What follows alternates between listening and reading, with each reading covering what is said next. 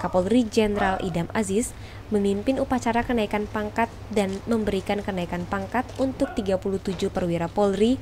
Anggota yang mendapat kenaikan pangkat meliputi satu orang perwira tinggi Polri menjadi komisaris jenderal, 10 orang menjadi inspektur jenderal, dan 26 orang perwira menengah naik pangkat menjadi brigadir jenderal.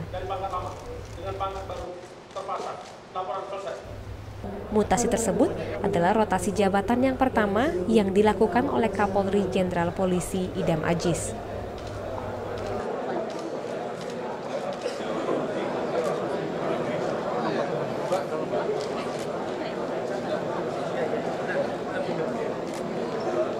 Dari Jakarta, Muhammad Iqbal, Tribrata TV, Salam Tribrata.